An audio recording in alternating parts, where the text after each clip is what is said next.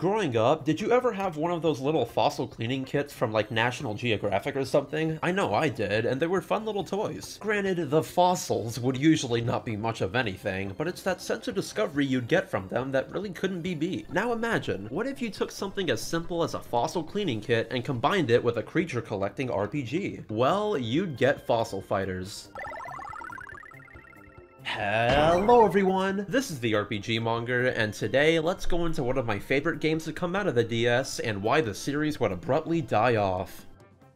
Having origins dating back to before the DS even released, what with the concept being pitched in 2004, Fossil Fighters is the product of a unique combination of developers. The concept and designs coming out of Red Entertainment, Artdink handling development, M2 handling programming, and the Nintendo Software and Planning Division contributing a variety of things. In development, the game was quite the beast of a project, with it essentially becoming multiple games in one as development progressed. To sum it all up, in Fossil Fighters, the game revolves around collecting collecting the fossils of extinct dinosaurs and some other animals, cleaning said fossils in a separate cleaning minigame, and then participating in turn-based battles with your newly revived Vivisaurs. When taking a step back, it's all a pretty simple concept, but once you get into the thick of it, trying to get every Vivisaur and forming the best team you can, it proves to be very effective. Though before we get into the Vivisaurs themselves and the battle system surrounding them, let's talk about that cleaning minigame. Utilizing the DS touchscreen and microphone, it's all around easy to get a grip on. The three main things being using your drill for the fragile bit, using your hammer to get rid of the hard rock, and blowing away the dust you create, all the while making sure you don't actually damage the fossil inside. Sounds easy enough, sure, but once you take the time limit into consideration, and the hundreds of different fossils you can dig up, it all starts to get more complicated. For example, say you've become pretty confident in your ability to clean fossils, as you've gotten pretty high scores on your recent ones. Well, seeing that, out of nowhere, the game throws fragile fossil rocks at you that change up everything, shattering with just the touch of a hammer. Plus, with multiple different shapes the fossil rocks come in, you'll want to be as precise as possible. That is, if you want the resulting Vivisaur stats to be up to snuff. And speaking of the Vivisaurs, just like the cleaning minigame, the battle system of Fossil Fighters also appears to be pretty simple, but the further in you get, the more important it is to rely on strategy. To quickly explain it, basically, in each battle, you can have a maximum of three Vivisaurs on the field, each of them in a specific position. When it comes to the Vivisaurs themselves, they each have a set number of attacks and abilities depending on which parts of their fossils you've cleaned, with those set attacks only being available if you have enough FP, points you use to fight that recharge after each turn. Like other games, Fossil Fighters utilizes a type system, with most Vivisaurs having an element they're strong against and weak against. That is, unless they're neutral. So of course, in battle, you'd want to match up Vivisaurs that are strong against your opponent's team. Hell, they even show you what you're up against before the fight. But wait, that's only half of the battle system, because alongside the actual Vivisaurs, there's those positions I mentioned. Four to be exact, the attack zone, two support zones, and the escape zone. Like it sounds, the attack zone is where you want to put your main attacker, or if you play the game like I did, a beefy Vivisaur to soak up damage while a long-ranged Vivisaur dishes out damage from the support zone. And in the support zone, you place Vivisaurs that,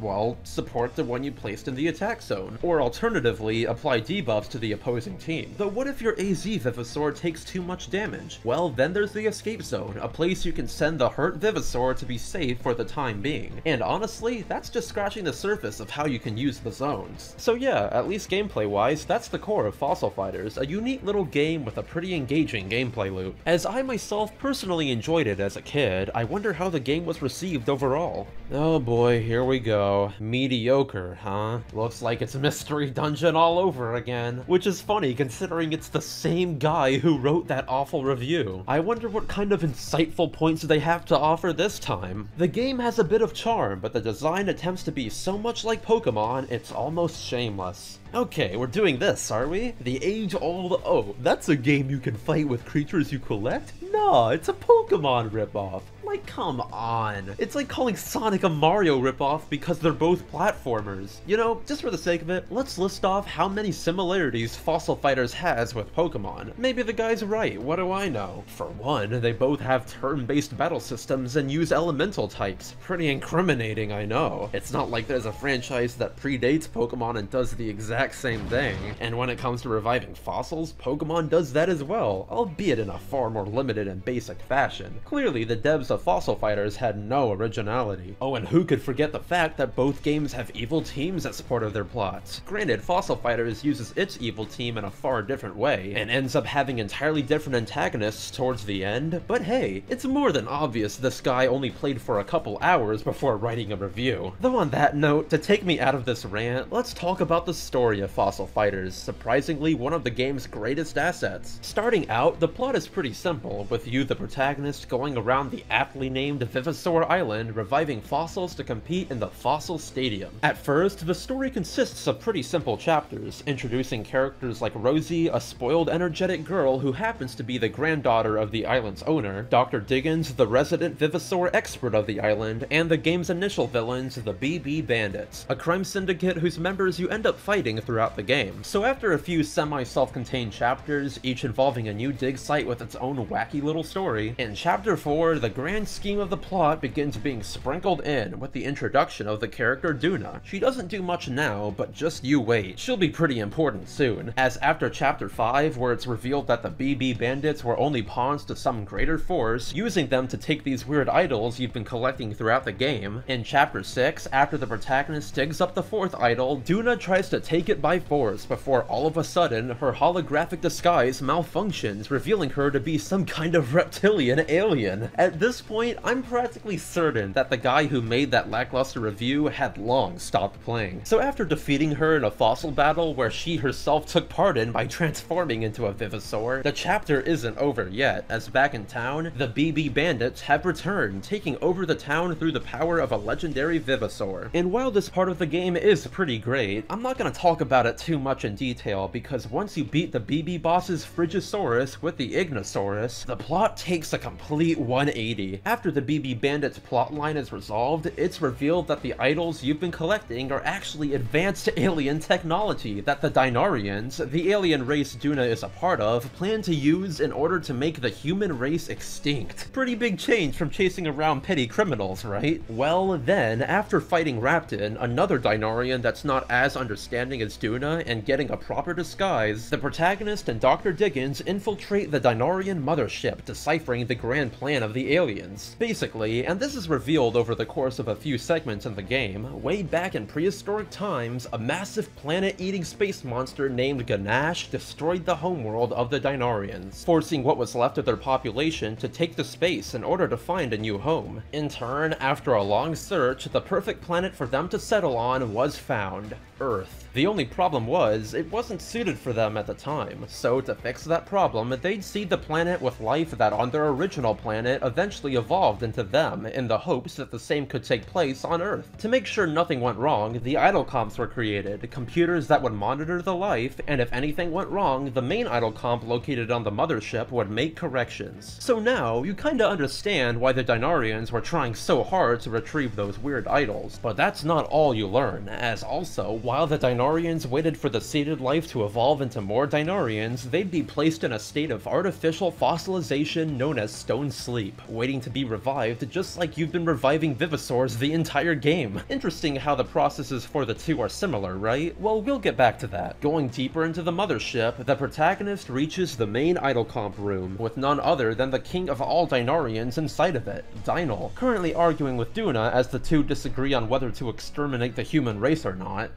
Enough, before Dynal manages to force Duna out of the way to activate the main idol comp, the protagonist manages to distract him as Dr. Diggins removes one of the sub-idol comps to prevent the rest from working. So hooray, the day is saved, or at least it would be in any other game, as the Fossil Fighters writers just kept pushing things further, this time throwing time travel into the mix. Because as a result of Dr. Diggins removing one of the sub-idol comps, the main one goes haywire, releasing an energy surge, sending him and that sub-idol comp all the way back to the Jurassic period. In turn, one fetch quest later to retrieve the fragments of that sub-idol comp, it's revealed that pretty much all the fossil restoration technology in the game actually came from a Dinaurian scout ship that crashed millions of years ago. And once you physically go to the crash site, you discover that Diggins just barely survived by using stone sleep, leading to a pretty hilarious bit where you have to clean his fossil. But now, we're in the endgame, with pretty much everything else being resolved, the only thing left to do was challenge Dynal. So one crazy battle later, it seems like that'd be the end of things. What with the king realizing the error in his ways, and even though humans only existed because of Dinaurians, they had no right to get rid of them. Except nope, with two opportunities to end the game now, the writers were still not satiated. As remember Raptin, that one guy I barely mentioned? Well, right before the humans and Dinaurians were going to part in peace, he just wasn't having it and activated the main idol comp anyways. Though instead of every person being obliterated immediately, the sub-idol comps actually begin speaking, revealing that humans didn't descend from the organisms planted by the Dinaurians, and that those organisms went extinct themselves. When this happened millions of years ago, the sub-idol comps unanimously agreed to observe the life developing on Earth rather than destroying it, but they encountered a fatal problem. In response to the plan failing, the main idol comp disagreed and decided that in order to remove all anomalous factors, all native life on Earth had to be annihilated. The issue was, none of the alien ships had that capability, so instead, it sent out a signal to the only thing that could, Guhnash. Yup, that's right, in this funny little dino game, the finale of Fossil Fighters consists of you preventing an apocalypse of incredible proportions and stopping a massive space tadpole from eating the world. And of course, the only way to stop it is by going inside the beast and defeating the three bizarre brains that control it in a fossil battle. Clearly a one-to-one -one ripoff of Pokemon, I mean come on. So yeah, that's pretty much the story of Fossil Fighters as condensed as I could tell it. Looking back, the game was honestly a perfect representation of the DS's spirit, taking a concept that's pretty widely well known by the public and putting a spin on it, creating something entirely new. It's just a shame that with most reviewers probably not playing the game to completion and barely doing it justice, I'm confident many people blew the game off without even touching it, though thankfully, despite that nonsense, the game would still receive an acceptable amount of attention, giving the devs enough reason to create a sequel. Fossil Fighters Champions, coming out late into 2010 in Japan and 2011 in America, at least timing-wise, the game didn't come out at the best time for DS games, considering that when it was localized, the 3DS had been out for months. Though past that, the combo of devs that made the first installment do not disappoint, as in my opinion, Champions is for the most part a direct step up from the original. I mean hell, just from the most basic perspective, the game added a good amount of new Vivisaurs to the roster, diversifying the designs of a lot too, with the addition of even more non-dinosaur fossils. Like, just look at some of these new ones. In Champions, you can even fight with a prehistoric fish. Plus, just in general, while I'm not the kind of person who really bats an eye at bad graphics as long as the gameplay's good, Champions definitely upgraded the visuals quite a bit, even adding little animated cutscenes. Granted, they are DS quality, so they're not the most incredible things in the world, but I always thought they were cool as a kid, especially those ones in Kirby Superstar Ultra. But I'm getting off topic. To start off, off, let's look at the gameplay changes, as pretty much every part of the original was modified in some way. First, let's talk about the core of the game, fossil cleaning. You see, in the original, it was a fun little mini-game, although after you've been doing it for the entire game and upgraded your tools to the max, the lack of variety outside of things like the shape and hardness of the rocks does dampen the mini-game a bit. However, in Champions, that's entirely resolved, as on top of the core mechanics from the original, a lot more variety was sprinkled in with larger rocks, double-sided rocks, rocks, and miraculous fossil rocks, to name a few. Plus, if you're lucky, sometimes by hitting certain points on the rock, you can get part of it to shatter, aiding the cleaning process greatly when it happens. Overall, just the right amount of additions to the minigame. However, when it came to the battle system, a lot would be changed. While the game would continue utilizing the typing system it established, the zone-centric combat would be altered through the removal of the escape zone. Now, fossil battles revolve around the formation you choose, with each Vivisaur being either long-ranged, middle ranged or short-ranged, thus becoming more powerful when you place them in the correct positions. Plus, alongside the addition of that, to replace the escape zone, champions added rotation, allowing you to rotate the position of each Vivisaur as you see fit, and sometimes forcefully rotate the enemy's positions if you have the right skill. In my opinion, it was a pretty great change, and added a lot more variety and strategy to the game. Though with the main gameplay elements touched on, all that's left is the game's story. Would it hold up to how crazy things got in the original? Well,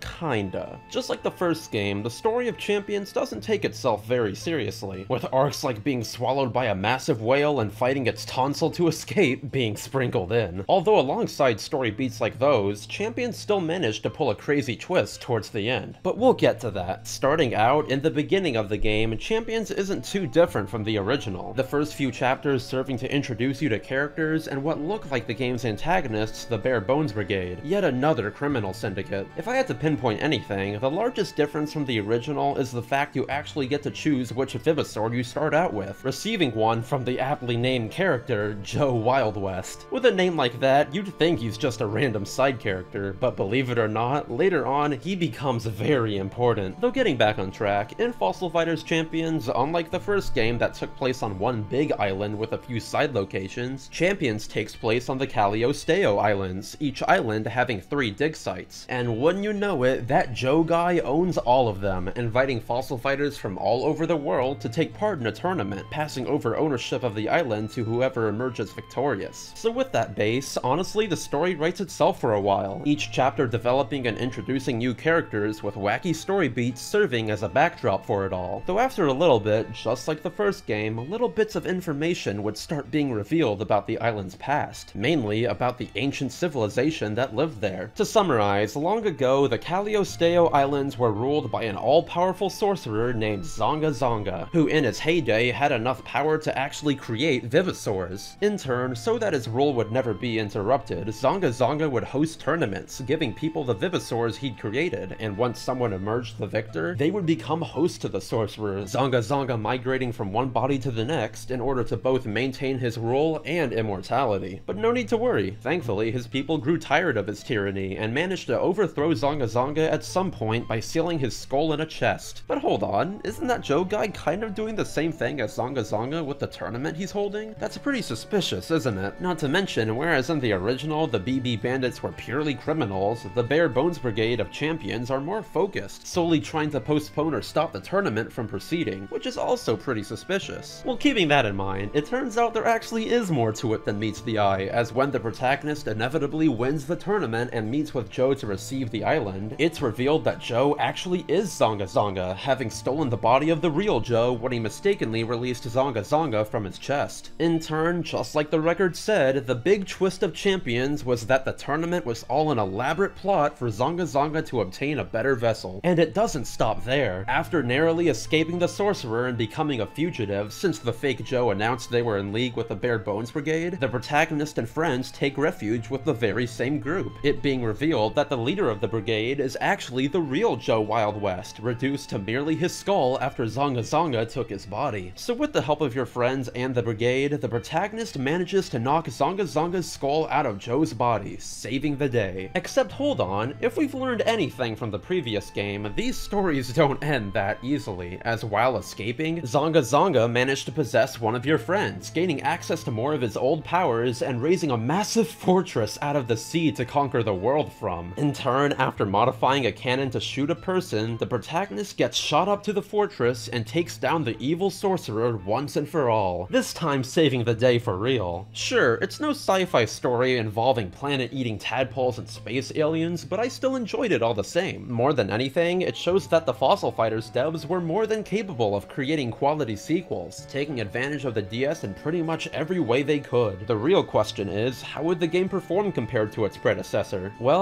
unfortunately, not that great. You see, for the original, Fossil Fighters actually sold more in America than it did in Japan, so even though the game came out before the 3DS's release in its home country, the game coming out many months after the 3DS in America did its sales no favors. And of course, IGN and other reviewers were back at it again, calling the game a Pokemon ripoff, so I definitely put some of the blame there too. But there you have it. Even though both games didn't do amazingly, they were solid DS titles, ending off the series on a high note. At least, that's what I'd like to say. To the dismay of anyone who enjoyed the first two games in the series, and to me who was blissfully ignorant of this title before writing this video, multiple years after the release of Champions, there would still be one more Fossil Fighters game. So before we go into this thing, let's shift focus off of Fossil Fighters for a second and talk about its developers. You see, the main thing that made Fossil Fighters work was its unique group of developers. It was a delicate balance of talent, and unfortunately, it wasn't meant to last. First on the chopping block is Red Entertainment, the company that came up with Fossil Fighters in the first place alongside designing characters and Vivisaurs would be bought out only a year after Champions by Chinese game developer Ultizen, a company that primarily makes mobile games. And that's not all, because three years later, Red Entertainment would be sold off to the Oizumi Corporation, a company that primarily makes pachinko machines among other things. So needless to say, the company would go through a lot of change, and that wouldn't be the end of it, as alongside Red, Nintendo SPD, another large contributor in development, would go through a lot as well. You see, Nintendo SPD was a division of the company created by then President Satoru Iwata back in 2003. Alongside developing and experimenting with new software, it also developed games games with third-party developers. Well, with a new general manager replacing Iwata as head of the division in 2013, the division would undergo a good bit of change, being relocated and later merged with another division. Now granted, there's a good chance none of this had any bearing whatsoever when it came to the development of the third game, but for whatever reason, when it came time to make the third Fossil Fighters game, it wouldn't be the same group of developers as before. This time, while some people from Red would still be involved with the title, all development would be outsourced to Spike Chunsoft, which isn't exactly an incompetent company, right? They've made good games in the past, so there shouldn't be anything to worry about. Well, for better or for worse, let's talk about Fossil Fighters Frontier.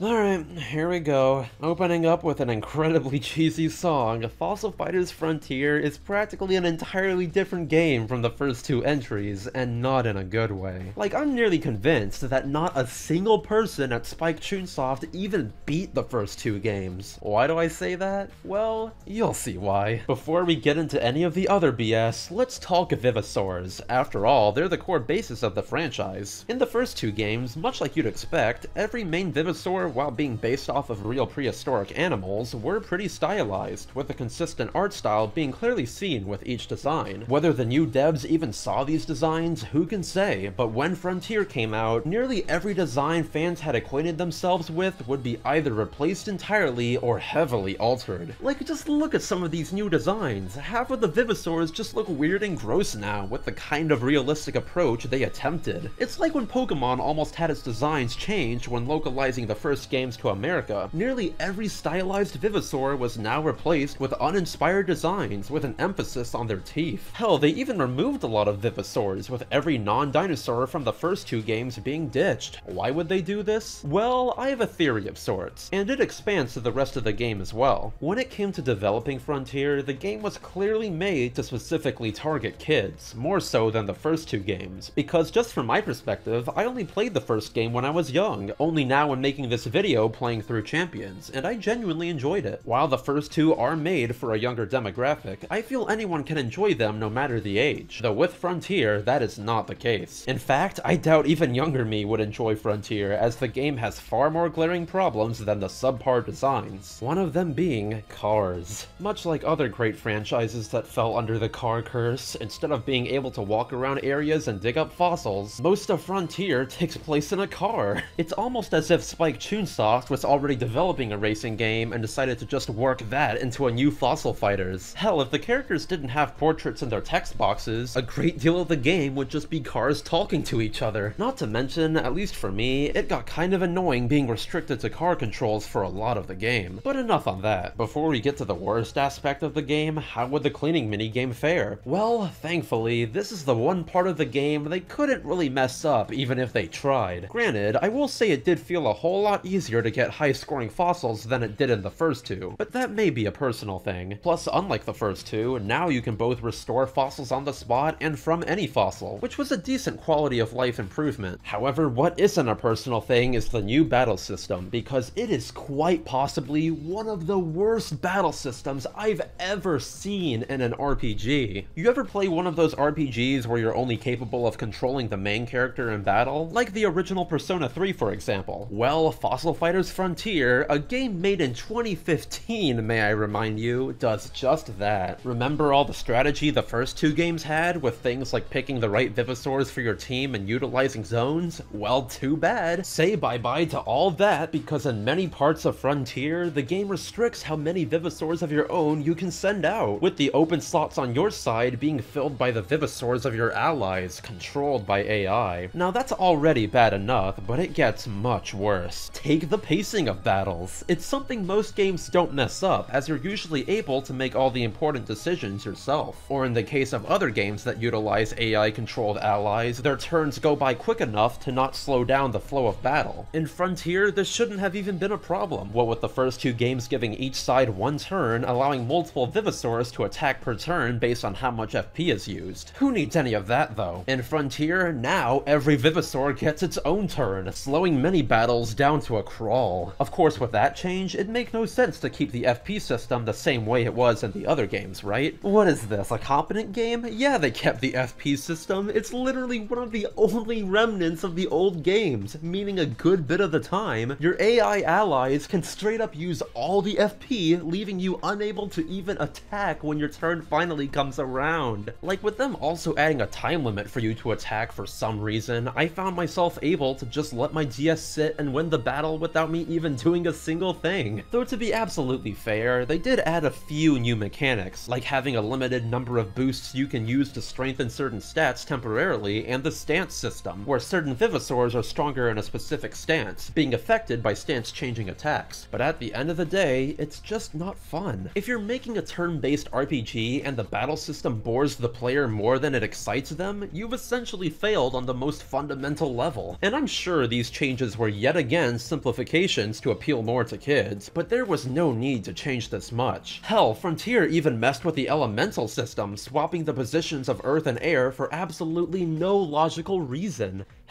it just makes me sad, man, seeing what was once a fantastic, innovative series being dumbed down to this schlock. If anything, I'd say the only new mechanic I actually found interesting was the new system of being able to swap out moves on your Vivisaur once you acquire special fossils. It's just a shame things like that are bogged down by everything else. Oh yeah, and then there's the story. An evil scientist breaks out of prison and you have to stop him from going to the past and brainwashing dinosaurs. That's just about it. The only other thing of note being the addition of the protagonist having a set partner Vivisaur for the entire game. And the only real twist there is that the Vivisaur used to be a test subject for that evil scientist. Coinciding with the rest of the game, Frontier's story is probably the most uninspired part of it all, containing subpar dialogue and a vast array of one-dimensional characters. You see this guy? His character is he's chubby and rolls into people. Wow, that's some next level stuff. Or how about this girl? Her character is she likes to race. That's it. Pretty much the entire game consists of stuff on this level. Plus with the addition of that partner Vivisaur, as long as you take part in tournaments to keep it at a good level, you can straight up use it for most of the game, rarely ever having to rely on any other Vivisaurs you revive. And let me say, it's not like the stories in the first two games were groundbreaking either. It's just that you could tell actual effort went into it, producing a plot that neatly accompanies the gameplay. In Frontier, it's almost like the devs were more focused on meeting a quota rather than producing something of quality. And just like the move swapping system, the story also has little parts that could have been much better. Like this one character who helps you throughout the game turning out to be a space-time engineer who travels through time to maintain the stability of space-time. If only the rest of the plot had more interesting things like that. At the end of the day, it's honestly sad to see such a great game series from my childhood be killed off like this. Because even though it's clear that they simplified things to appeal specifically to younger kids, Fossil Fighters Frontier would sell abysmally, not even reaching half a million sales. And thus, with Nintendo moving on from the 3DS line a couple years later, it's safe to say that aside from a mention in Smash, Fossil Fighters is now officially extinct. Looking past the disgrace that is Frontier, I would recommend all of you to try out the first two games if you get the chance. They honestly hold up very well and can become very addicting if you try to craft the best team to take down your foes. And if you're someone whose only experience with the franchise is Frontier,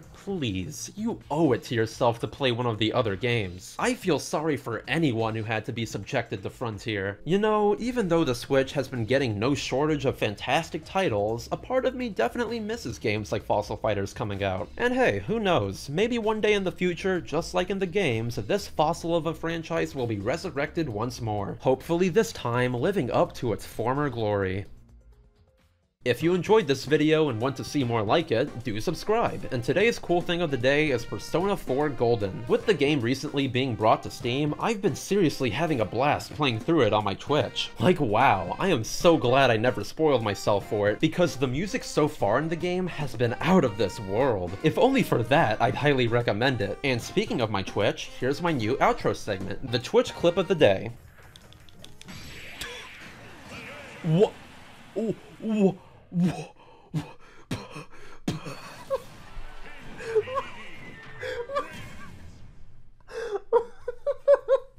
So that being said, I'm the RPG Monger, and don't forget that each and every one of you are fantastic.